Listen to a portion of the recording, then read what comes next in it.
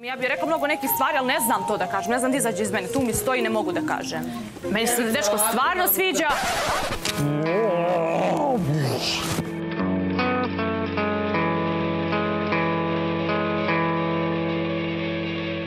Joj, joj, joj, joj.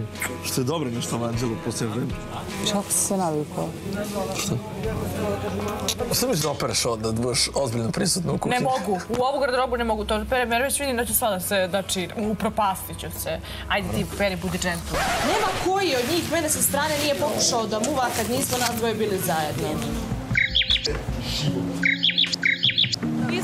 Izvini, to je indirektno što pričaš, što možeš nekom i drugom, da ti ja odmah objasnim kako stvari stoje. To me povrijeđuje!